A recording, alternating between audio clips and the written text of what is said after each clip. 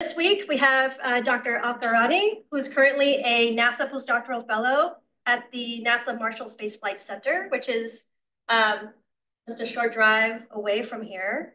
Uh, her research focuses on studying planetary volcanic and tectonic uh, surface processes, mainly using remote sensing data, both geochemical and uh, geophysical uh, data sets.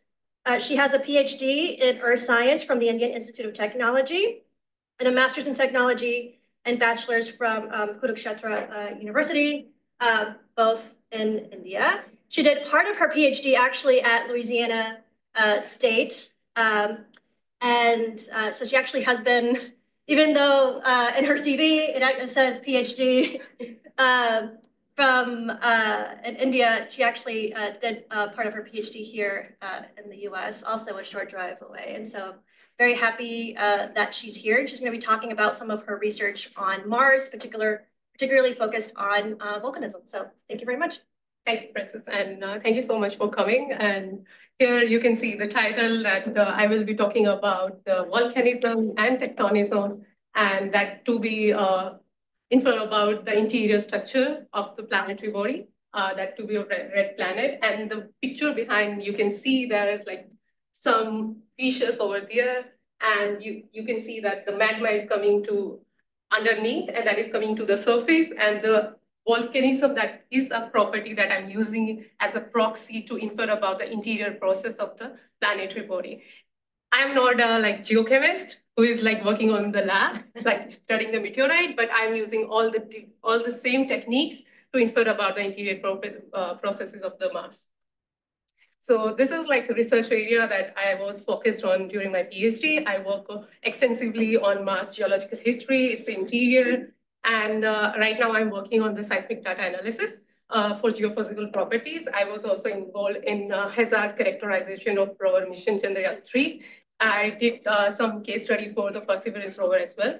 And right now I'm involved in the Gangotri concept uh, of mission design at Louisiana State University. And these are my sites. You can follow me if you are interested in the volcanism. So before going into the research and the, what I have done during my PhD, so here you can see that this is a schematic diagram when we were studying and looking for the Mars. And uh, here you can see that the volcanism is the only process that is happening throughout its history, starting with the Noachian, which was the early formation time period of the Mars, and it was going uh, till the Amazonian. However, uh, the volcanic activity was more active during the Noachian and Hesperian time period, but with the time it was decreased over. And uh, he, the volcanism is directly related to the surface and atmosphere evolution.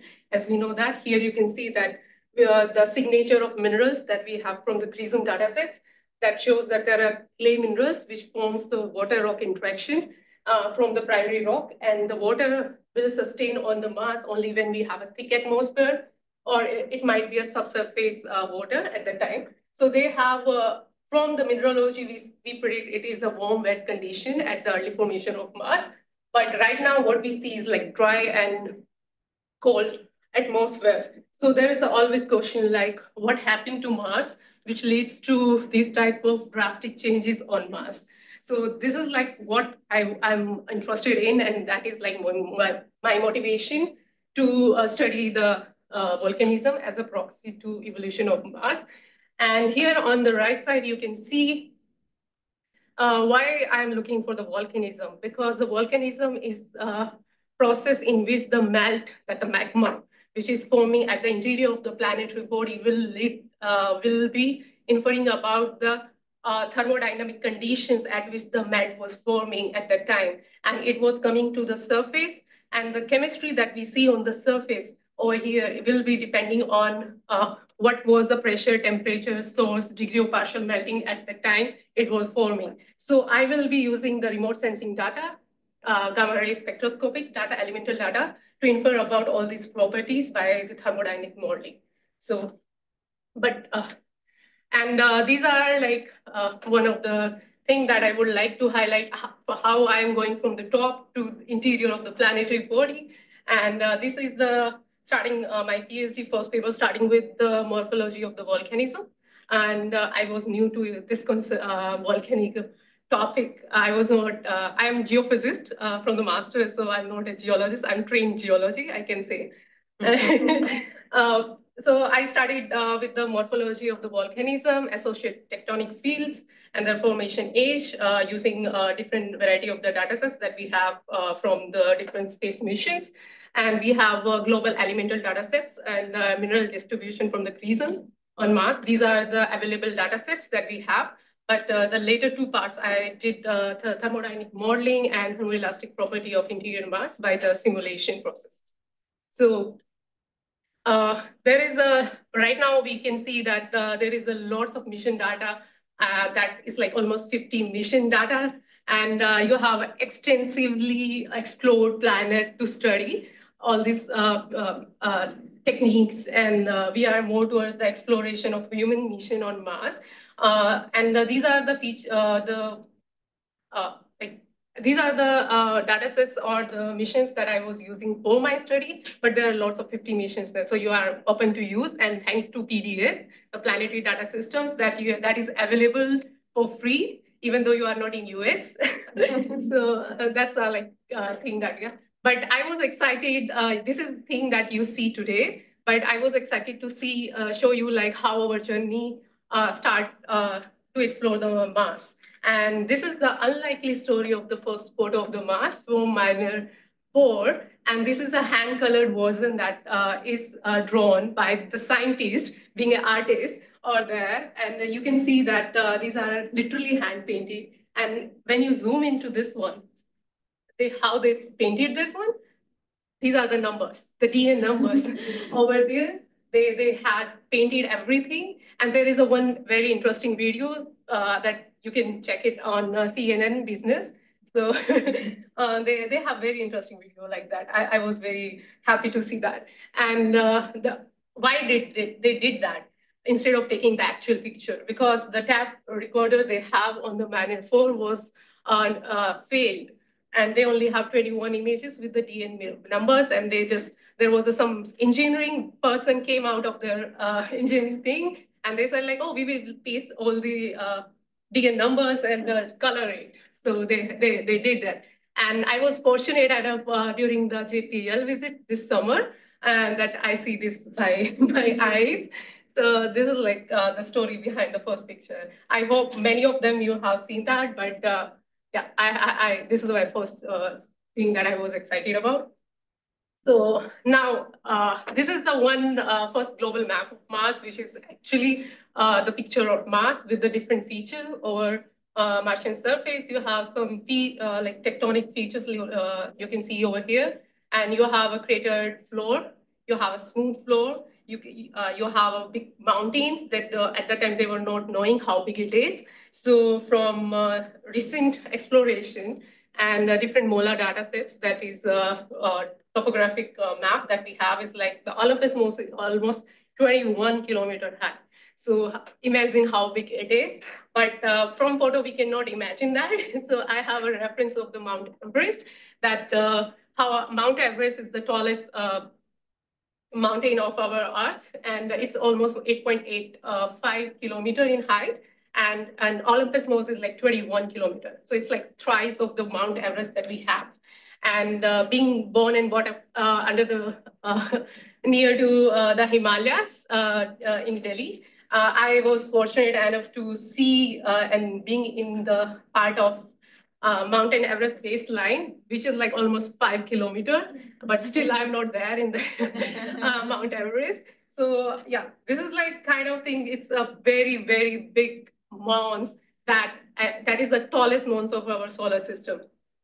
So uh, how it forms. So there is a one big reason that the Mars is not having a tectonic activity but uh, our Earth is tectonically active. So hotspot is there, which is like stagnant, and the tectonic plate is moving over. So we have islands like Hawaii, but uh, Mars doesn't have a tectonic. So we don't have that um, in, uh, in, in the Mars. So that uh, leads to the episodic events of the volcanism that, that leads to the formation of this Olympus Mons.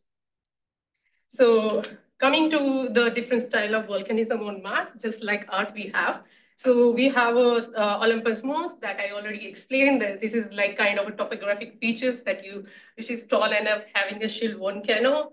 And uh, this could be formed because of effusive type of eruption uh, with low vis uh, viscosity and smooth flow of the lava.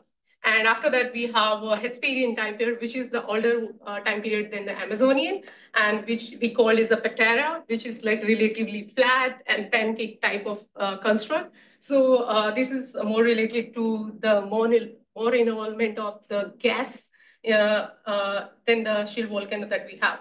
And after that, the recently discovered Michalski Bleacher in 2013 Noachian volcanism, uh, which was not discovered before because the construct uh, that we see on Amazon and Hesperian was not look like the what we have discovered for the Noachian. These are the caldera complexes uh, construct, uh, uh, which is like forming when there are like explosive volcanism, just like if you have seen uh, the Yellowstone calderas, that they have lots of gases in it, and they come accumulate, and they just do the, the burst, and then collapse. So they don't have these type of uh, shield uh, episodic events. So my interest is more linked to the Noachian time period, which is the early formation time period of the Mars. Uh, reason being uh, why I'm interested in the early formation of Mars, because if you see that uh, uh the we have a, we don't have a written sample for Mars, but we have like meteorites. That is the kind of different uh, proxies for in, looking into the interior of the planetary body. So if you see that the age of the these uh, shergottites, which is representing the Martian volcanism, which is more related to the Amazonian time period, but we don't have any sample from the Noachian and Hesperian. So we need the global study to infer about the complete picture, how the evolution happened from early to the present condition. So I have, uh, I'm, like as the Mars tell, uh, meteorite told us like mantle is heterogeneous, but we don't know how it evolved from uh, the early formation to the present uh, condition. So that's why I'm using all these uh, different age of uh, volcanic provinces. And my interest lying in the Arabia Terra because the Michalski Bleacher was highlighting this is like Noachian old age uh, time period. This like uh, near to 3.9 billion years. So, and uh, there was a one uh, study by uh, Vertex 2011. They have used the gamma ray spectroscopic data sets for the Hesperian and Amazonian. And uh, this showed that like there is a trend between the compositional trend between the Amazonian to the Hesperian time period. And uh, that from this, they have uh, do the petrological modeling and comes come to the uh, information that uh, with the time, the lithospheric thickness is increasing with the cooling of the Martian interior. So that's the one motivation that I was uh, looking, uh, doing the same work, uh, including the Noachian. And but as I said, that we don't know Noachian period, uh, that the composition trend that we see is like following as uh, that uh, Hesperian, Amazonian, and the Noachian, or it is diverting from the other other way. So we are first we will look for the compositional trend, and uh, after that we do the go for the petrological modeling of this one. So uh, as I said, uh, I started with the morphology uh, uh, study, and uh, Michalski and Bleacher has proposed that northwestern Arabia Terra has a caldera complexes. They, he didn't propose like whole Arabia Terra is following that trend. And I, I explored whole Arabia Terra and find out the tectonic features over there. They are wrinkle ridges that we delineated over this one. And we came across one interesting uh, uh, crater, which is like having an interesting location. You can see the 28 east, 28 north. So it's like completely like targeting that thing. And if you see that it's the MOLA topography map, and at the interior you have like different features, but when uh, we come to the crater formation, then when the impact happens, there should be a, some uh, central peak, but we don't have that. Uh, the reason could be that uh, there is some uh, erosion happen because the crater is like almost 3.8 billion year ago. So when we did the 3D uh, elevation model, that you can see that these are the like mounds and there are like some ridges that we later on prove that are like interior dikes uh, which is feeding to these, these mounts.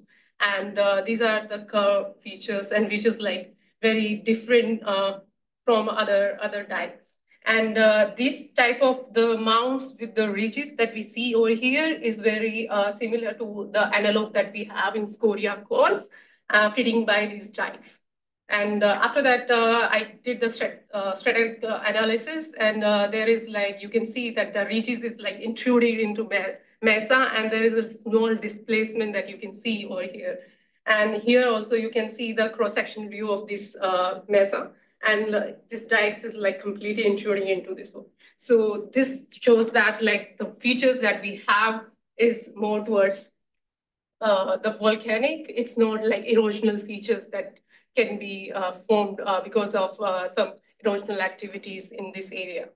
And later on, interesting th thing that we have, like these are the wrinkle ridges that we delineated. And we find that the orientation of the dikes and the azimuth of the cone is aligned with the direction that we have tectonic features, the wrinkle ridges uh, in, in this area. And uh, this, this shows that the because if you uh, if uh, the impact happens and uh, dike may infill those, uh, then the uh, rose diagram that we called is it should be like a multi-directional and or either either uh, they are concentric rings formed.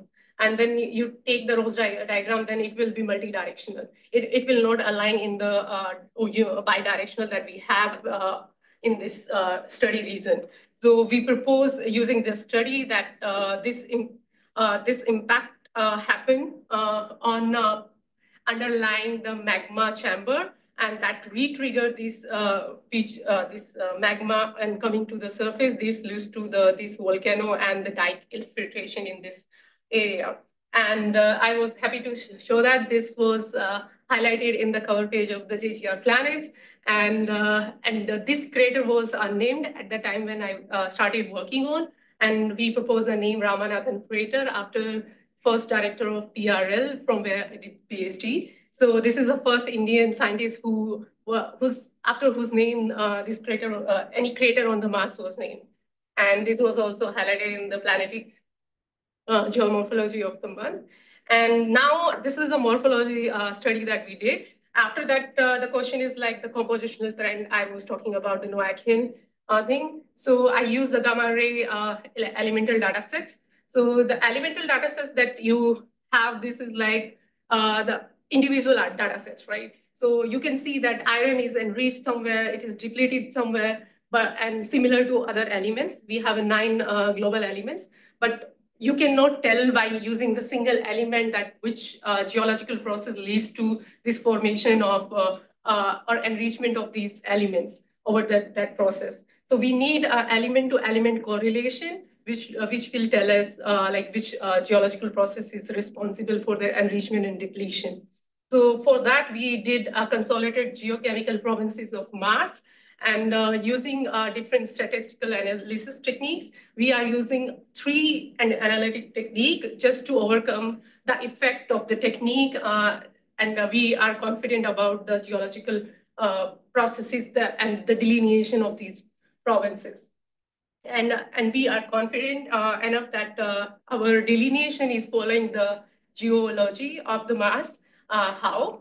you can see that this is the MOLA map and over there, this is the one area, Lunae Planum, that came out from our uh, consolidated geochemical province. And we, when we projected over the geological map, you can see it is like a small patch and which is like a completely different out of the other regions. So it's like highlighted in that. So the compositional trend is following the geochemical map. So we are confident that like the techniques that we have used is, is representing the underlying geology instead of any uh, glitch or like uh, discrepancy of any technique. And uh, comparing uh, the Lunae Planum with the other other reasons, we have uh, Acidalia Planitia, which is like adjacent to the Lunae Planum, the Acidalia Planitia. And here you also can see that the delineation or mapping, mapping boundary of our uh, geochemical province is like following the geochemist, uh, the geological map underlying this one. And uh, and they are like having a different province. And the different province here means that we have a different chemistry. And here, this is the uh, Box-Whisker plot. And uh, just to understand what exactly it is, if uh, this is like uh, line one representing average Martian crust composition, if the box is lying above this one, then it represents the enrichment of that element in particular area. And if it is uh, down the, uh, the, unity line, then it is representing that it is uh, it is depleted in that uh, element in that region. So for here, I can say that H2O is depleted in Lunae Planum, and uh, it is also depleted in potassium thorium. But on the other hand, the, uh, the Acidalia Planitia, which is like enriched in potassium and thorium. So we are confident, like, even though they are like very close uh, uh, province uh, by geology, but the chemistry is different, and we are getting it from our uh, province uh, delineation map. So, and coming to the geological evolution of the Mars from Noachian to Amazonian, here you can see that we have province A, B, C, D and Arabia Terra. And these numbers, uh, the letters represent the age, like Amazonian, Hesperian volcanic and Amazonian volcanics. So here you can see that the province A, B, C, and Arabia Terra are mostly dominated with the Noachian terrain, and B is Amazonian time period, and D is uh, uh, this region, uh, which is lowland region, and which is mostly lying in the uh, uh, late Hesperian lowland region, and which is like completely different trend, uh, which is not following in the southern hand. If you see this one, all provinces like A, C, and B, all are lying in the highland region, if you know, and the green one represent the lowland region. And from different hypotheses, we know that the origin of the lowland region of Mars is completely different. But chemistry is also saying the same thing. And uh, this is not only the two variables that we are saying, we are saying it with the other uh, major elements like calcium, silica, iron, and aluminium. And you can see that all regions are following this trend, going uh, from up to down, but the uh, lowland region is not following this one. So this is clearly showing that uh, the uh, highland is uh, evolved from same body, but uh, not the uh, lowland region. So this shows the composition heterogeneity over the time that is evolving at the interior of the Mars. So we say that like the Noachian is following the trend. Now we come to the petrological modeling. Uh, we have a composition, we take the average of those regions, and uh, we compare our study of the Arabia Terra with uh, all other studies, and you can see that compositional variation. Even though they are distinct apart from a distance, but the, their chemistry is completely similar. You can say that the Thaumasia SWIP region are having a same, same chemistry with the same age.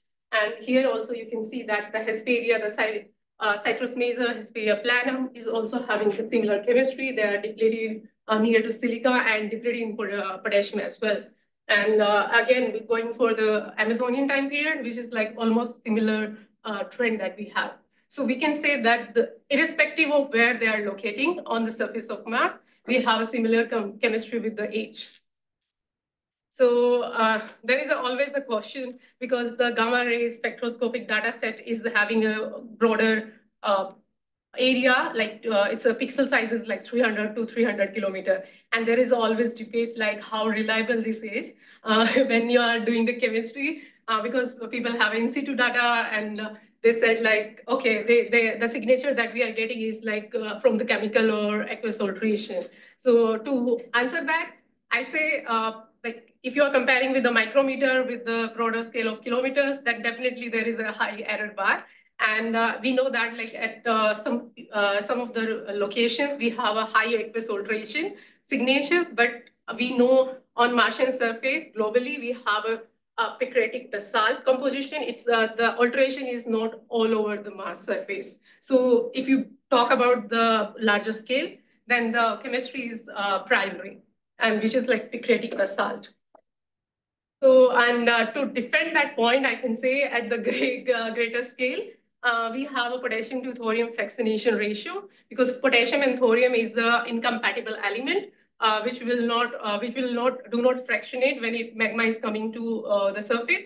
So then the potassium to thorium uh, fractionation ratio will be following the same trend as the Martian surface uh, crust is following. And this is the regression line for that. And these are the reasons that I have plotted. And you can see that they are falling within the trend.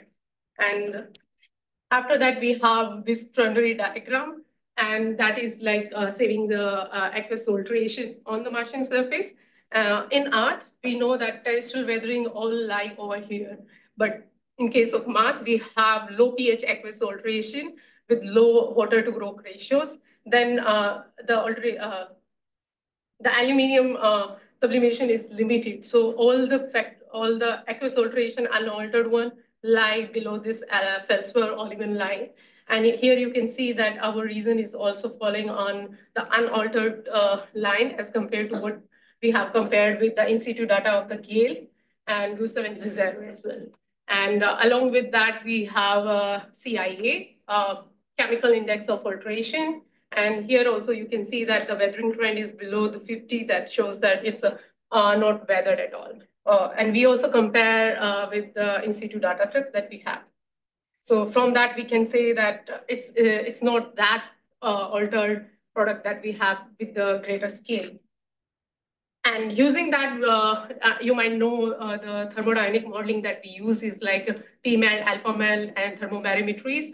So using those uh, simulations, we have derived the pressure temperature conditions for these um, melt that we have from different age groups.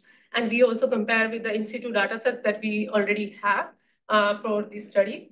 And uh, you can see that these are the reason, the green one with the cyan one is like uh, the Noachian time period, and this uh, round shape are mostly the Hesperian time period, and uh, this is the diamond shape are mostly the Amazonian. And you can say the the melt that was forming in the Amazonian is uh, forming at a high pressure and temperature condition as compared to what we have uh, during the Noachian Hesperian time period.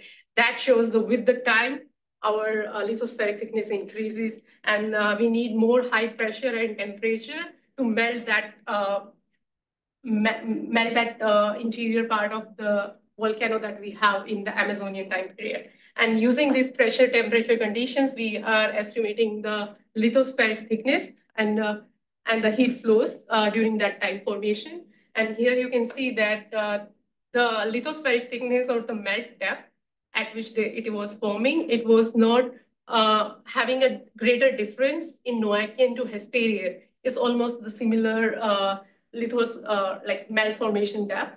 But in the Amazonian, it is increasing uh, like drastically. So it we don't know how why it is changing. And as I said in my first schematic diagram, that uh, there is a drastic change happen at the late no late late Hesperian to early Amazonian time period, but we don't know why it happens. But these are the uh, estimations from the melt composition that we have uh, what pressure temperature could be at the interior of the planetary body at the different time scales.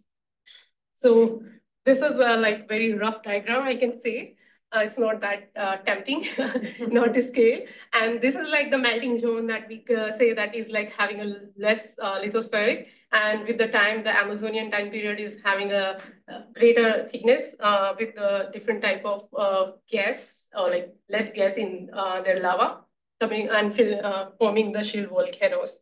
So these are, uh, and we also, as I said, irrespective of the regional scale, our geological analysis reinforces the geophysical evidences of the uniform lithospheric thickness from Noachian to Hesperian time period uh, with the shallow melting uh, during the Hesperian period. So this is also, we compare with the geophysical analysis that uh, they have done in 2023, and we are following the same litho, uh, lithospheric thickness for Noachian and Hesperian time period.